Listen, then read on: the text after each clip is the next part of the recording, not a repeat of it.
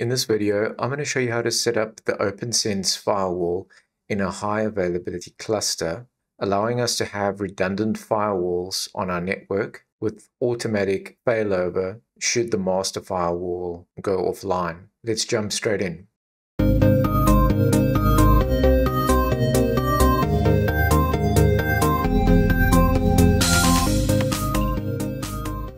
Hey guys, I'm Lal and welcome back to my channel. We're going to be continuing with our virtual lab building series. And in this video, I'm going to show you how we can configure OPNsense in a high availability cluster. And we're going to be building this network that you guys can see over here. So the way that this works is we will need to have a master OPNsense firewall, which will be our main firewall and we will have a secondary firewall called a backup firewall. Both of our firewalls will be connected to this virtual layer 2 switch. This would be our LAN, where our virtual clients will be connected to the Windows 10 machine. And then we've set this up in a way that we've simulated a WAN connection. So VirtualBox will provide DHCP for us and provide the WAN interfaces with with two IP addresses respectively. And then these dotted lines in between each of the firewalls on the LAN and the WAN side, those are to represent the virtual WAN IP and the virtual LAN IP, which we'll go into a little bit more detail on how to set up shortly.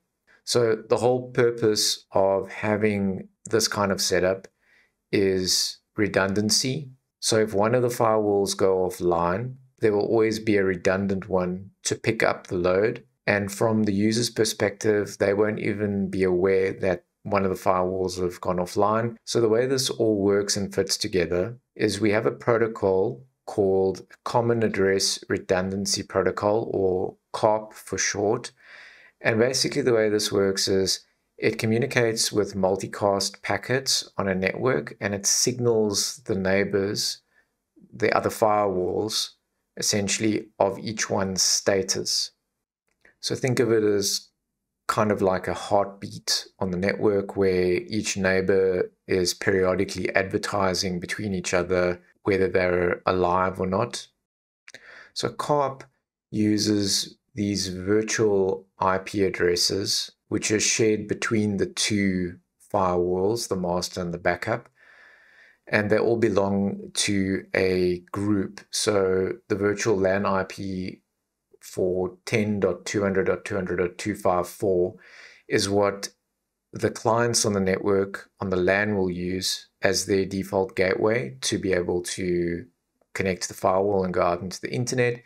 And then the same applies with this virtual IP for the WAN 10.0.2.254 would be shared as a single virtual WAN interface between the two firewalls. These virtual IPs are part of groups. So in this case, the virtual IP for the WAN will be on group number two. And for the virtual LAN IP, it'll be on group number one. I'll show you how to set this up when we jump into the actual configurations. When you're setting up these virtual IPs, we'll also set up what they call a skew and basically a lower skew number, in this case zero, will always take preference over a higher skew number. So for our master firewall, we always want to give it the lowest skew number, which would be zero, and then the backup will have 100 as its skew number. Then the other part of how this works is we have this protocol called pfSync, which you can see is this link between the two firewalls. When you set this up in any environment, a virtual environment or a physical environment, there will be a direct link between these two firewalls and it will have its own network. In this case, my pfSync network is 10.0.0.0 slash 24. So my master has the IP address 10.0.0.1 and my backup has the IP 10.0.0.2.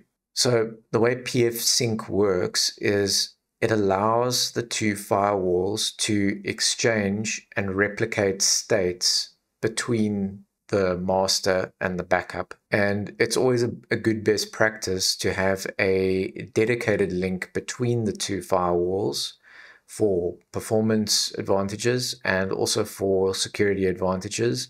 Generally, that pfSync network will be an isolated network between the two firewalls that we can secure.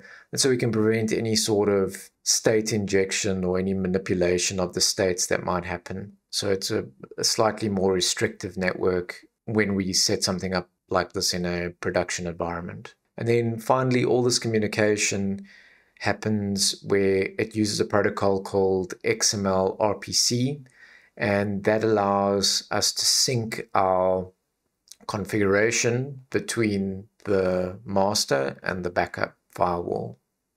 So if you've been following my lab up until now, you'll most likely already have a OPNsense virtual machine configured within VirtualBox. The easiest way that I found to do this lab is to simply take your already pre-configured firewall and simply right clicking on it and cloning it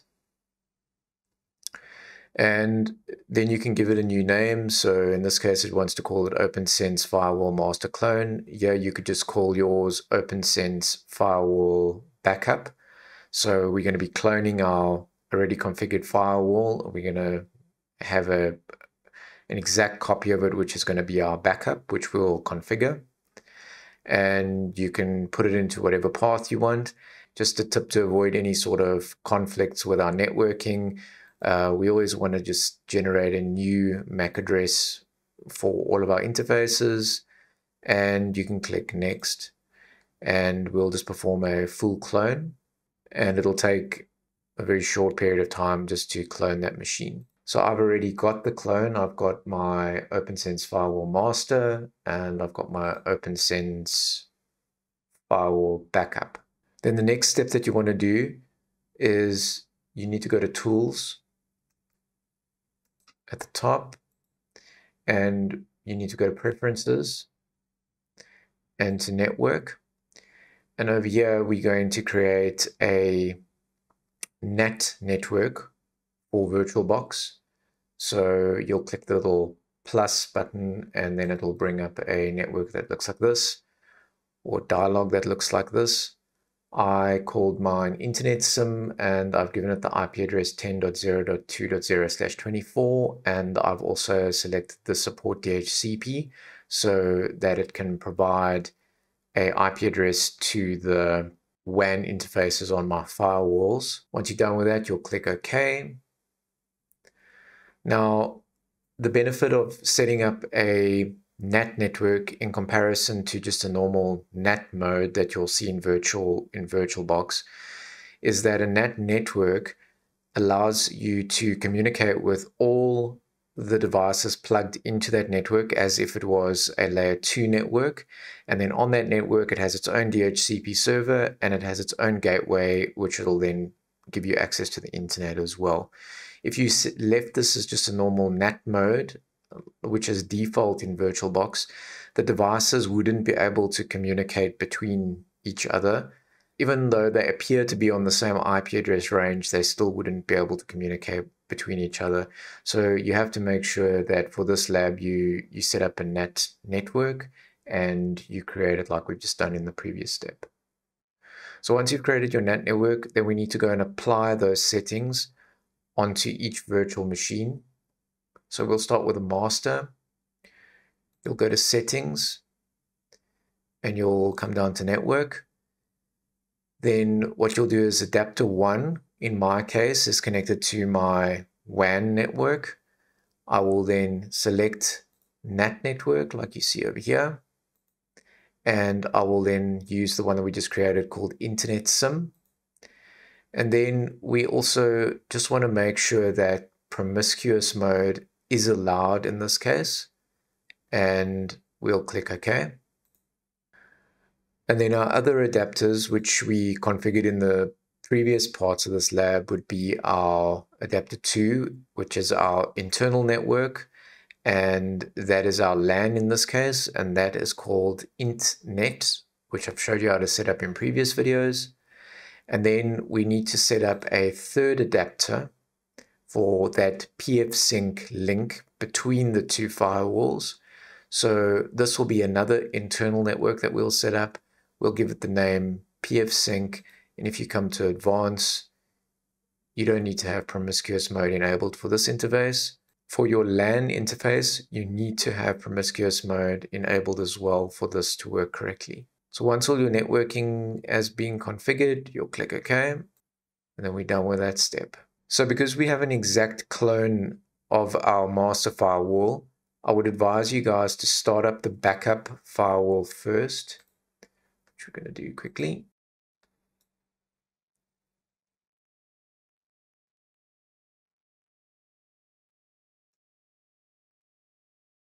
And we'll just let it go through the startup process.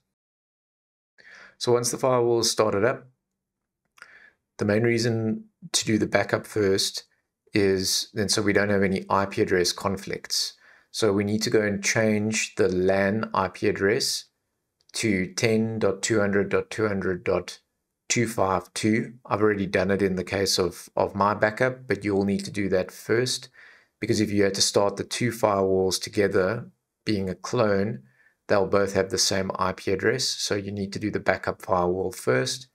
Uh, as per our network diagram, it would be 10.200.200.252.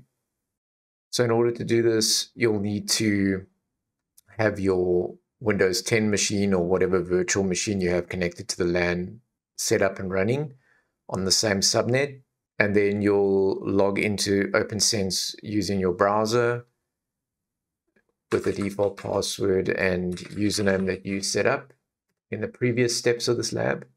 And then to change the LAN IP address, you will go to interfaces and LAN. And if you scroll down, you'll want to set it as a, make sure that it's a static IPv4 address. And you'll give it the IP address 10.200.200.252 or whatever range you're using on your LAN. And you'll click save.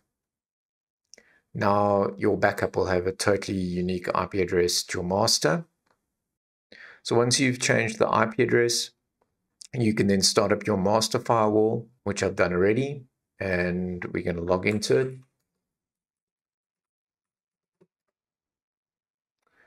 So now we have both the master running on 10.200.200.251 and we have the backup running on 10.200.200.252 and they're both operational and connected to the internet.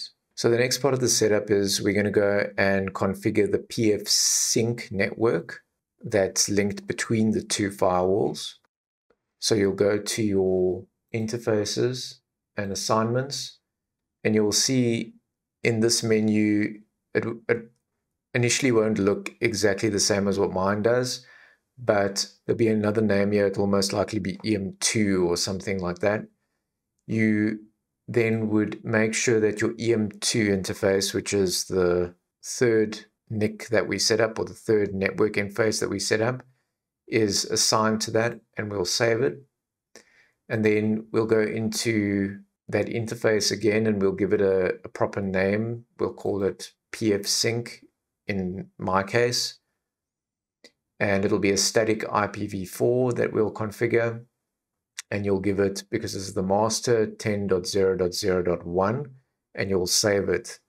You'll follow the same steps on your backup firewall. So once again, it's to your interfaces. You'll go and configure the assignment and you'll call this interface also pfsync. And this one's IP address is 10 0.0.0.2 and you'll click save. Now, because these are two new interfaces, they won't be able to communicate with each other because the firewall needs to be set up first to allow communication between between those two interfaces. OPNsense by default explicitly blocks all traffic until it's been allowed on your network. So to do that, we're going to head over to firewall and we're going to go to rules And then for that particular interface that we call pfsync, you're going to go through to it. And we're going to add a rule by clicking the little plus sign there. I've already got my rule since I've done the pre-configuration for this. However, we can go and check mine out. If you go to edit, you'll see that the interface that it's been applied on is pfsync. The direction is in. It's communicating using IPv4 and we're allowing in this case any protocol. You can restrict this to CARP or to various other protocols which you want to allow on your on this particular network segment. This is up to you, but for this lab, I've just configured mine for any protocol. I've left the source as any and the destination as any as well. And you'll simply click save once that rule has been created. We'll then head back to our master firewall and we'll follow the same steps there. We'll go to rule, pfsyn, and you'll see the same rule has been created on that side of the network and you should be able to ping across that link and then you know that it's active and it's working correctly. So the next step is we need to configure the virtual IPs that we discussed earlier.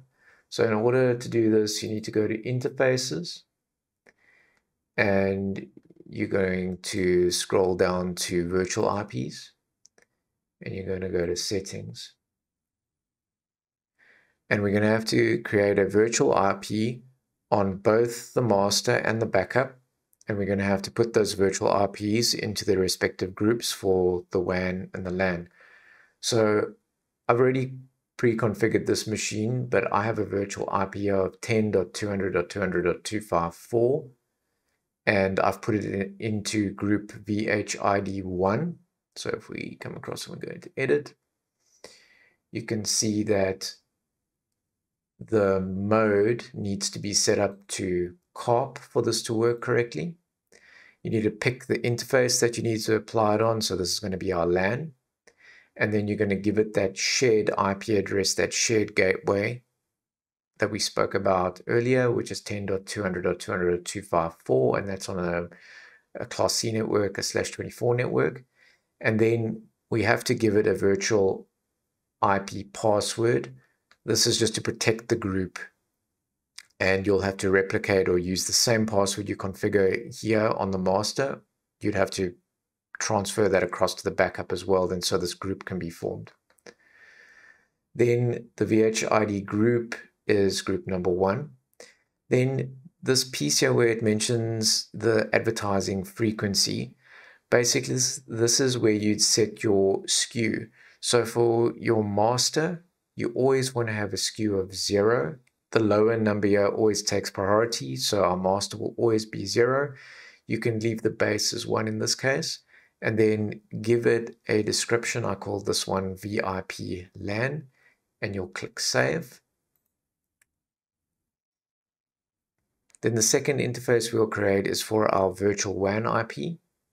So if you click over here, you'll see that it's once again also in a CARP mode. The interface now is the WAN instead of the LAN, and we'll then give it that LAN IP address we set up 10.0.2.254, and that's a slash 24 network. And once again, we will give it a virtual IP password. And because this is the WAN group, we'll then set it to group number two. And we'll also leave the skew as zero because this is once again our master and we'll give it a description of VIP WAN and we'll click save. You'll follow those exact same steps on your backup firewall. So just to show you in my case, if we go to the backup firewall and we go to interfaces and virtual IPs, you'll see that I have the same setup replicated on this firewall and they belong to the same group. So the LAN is VH ID1 and the, the WAN is VHID2.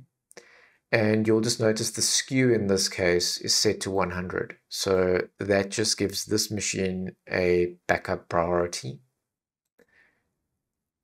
go into the actual settings, you can see over here the skew is set to 100. And you'll click Save. And the same applies on the WAN interface. So back to our master, we need to configure the high availability setup once again on both the master and the backup. So to do this, we're going to go to System and we're going to come across to High Availability and we're going to go into Settings. To make this work, on the master, we need to select the Synchronize States checkbox and we need to tell it which interface it's going to synchronize across. So in this case, it's that PF sync link that we set up. And then the synchronize IP is going to be the IP address of the backup firewall, which in this case is 10.0.0.2. And then this section here where we do the, the XML RPC sync, this setup only needs to be done on the master. So in this case, we're going to tell it that the synchronization needs to be configured on 10.0.0.2. We then provide a username and a password. This is the same username and password that you log in. When you set this up in a production environment, it would probably be best for improved security to not be using root and the root password, it would be best to set up just an account for this high availability setup. And then all of these options below determines what we are going to be syncing across to the slave. So we can sync information such as the dashboard, users and groups, auth server certificates, etc. You can fine tune this to your requirements, but for the sake of this lab, I've just left it all as default. You can see the most important things here would be like the firewall rules, um, the NAT tables, and so forth, and you'll simply click Save. Then heading across to the backup firewall,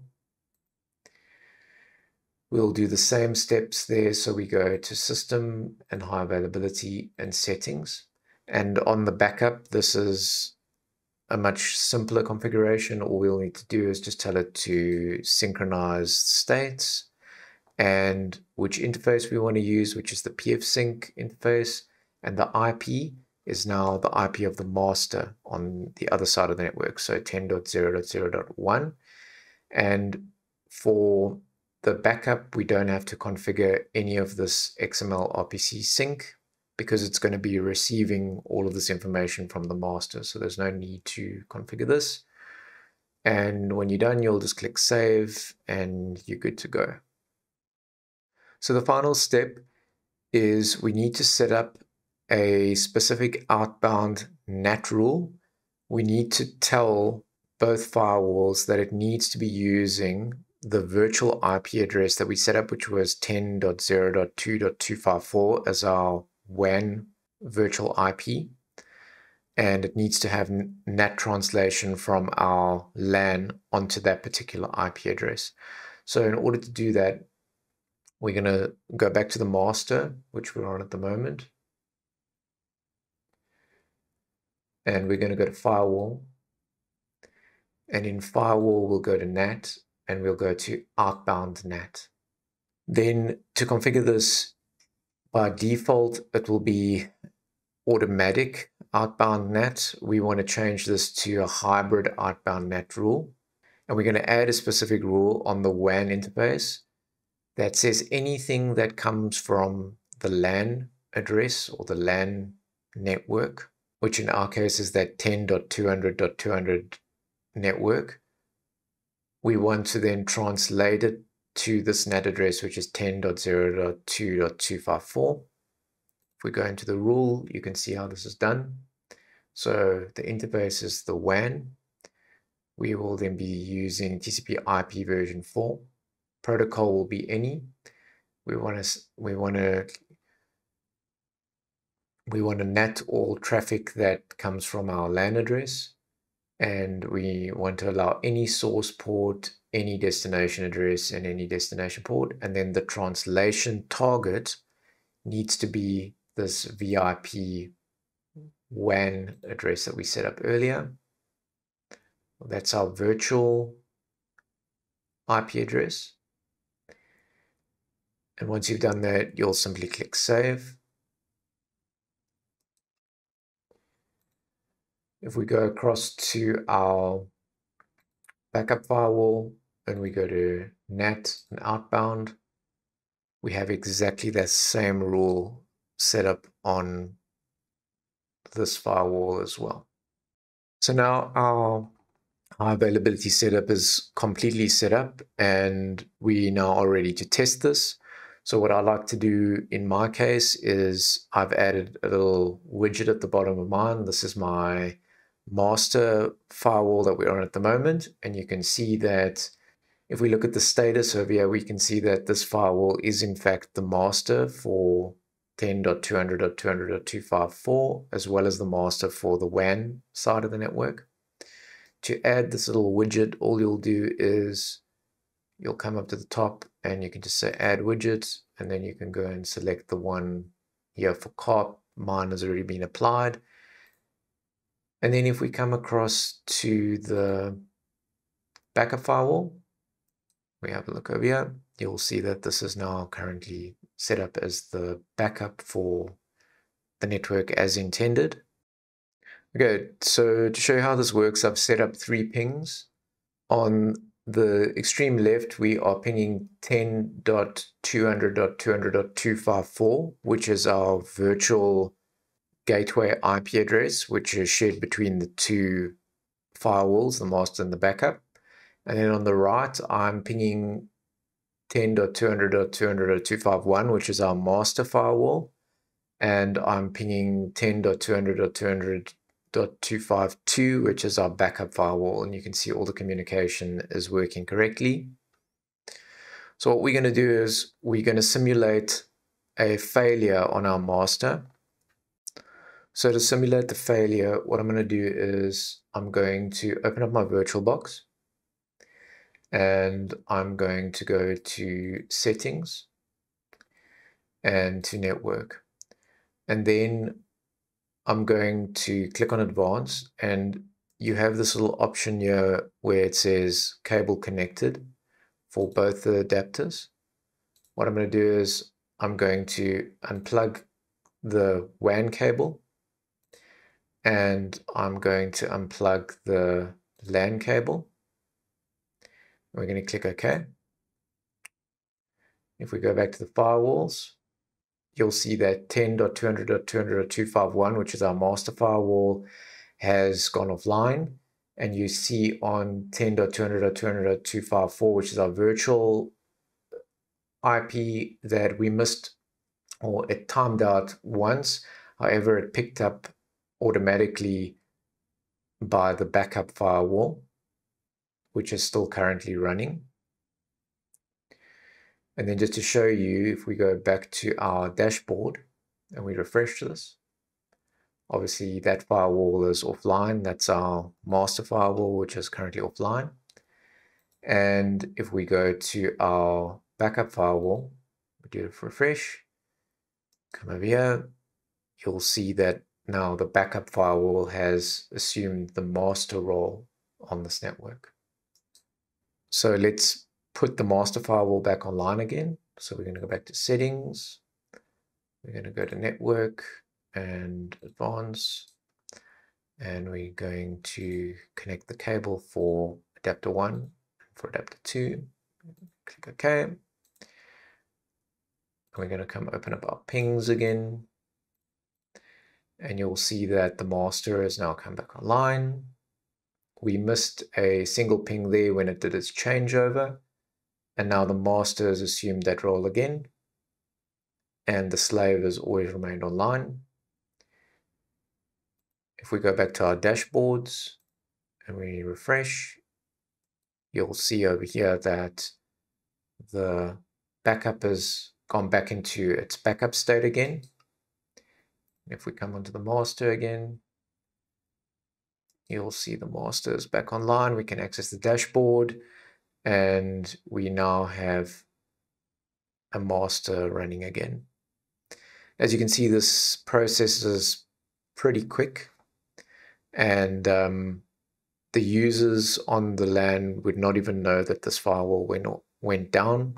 All the states remain intact. All the communication between those clients and the internet will remain intact. They, they won't even be aware that this, this has happened or that there's been a failure.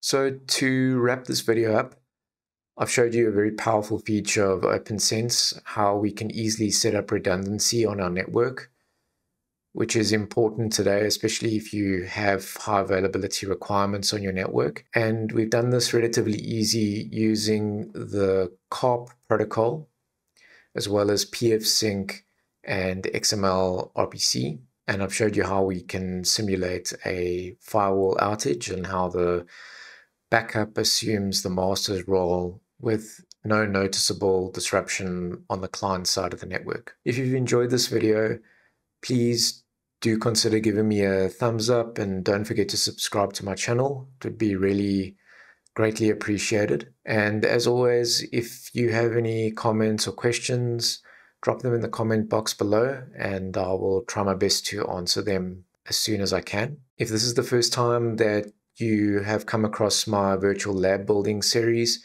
I have a few other videos that I've created that currently revolve around this OPNsense firewall. Please do go check those out if you haven't already.